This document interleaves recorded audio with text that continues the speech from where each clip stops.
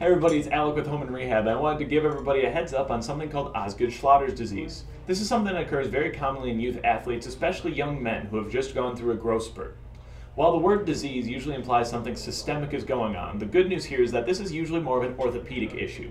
It's often an irritation at the front of the knee, and you'll often start to see a little bit of a hard bulge occur right at the front of the tibia, right here at the tibial tuberosity. Now what's often going on here is our quadriceps all meet up right here through the patella, connecting to, through the patellar tendon to that tuberosity.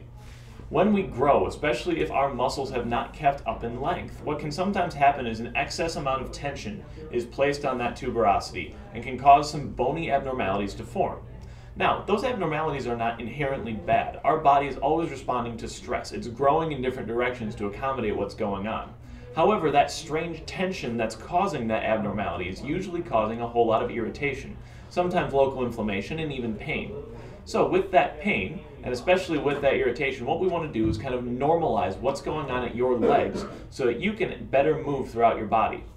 So, if you have somebody who you're noticing is experiencing some anterior knee pain, you've noticed that they seem to have some very tight legs or if they're just gone through a growth spurt and they seem to have a little bit more length to what's going on in their lower extremity, they might be a candidate for a little bit of treatment on this. What we'll usually do on the physical therapy end is first off, work on strengthening and stretching the quadriceps.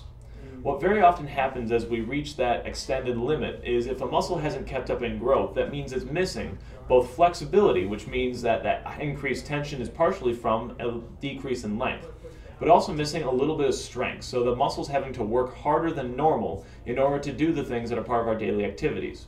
So often basic strengthening exercises like squats and knee extensions can be a little bit helpful.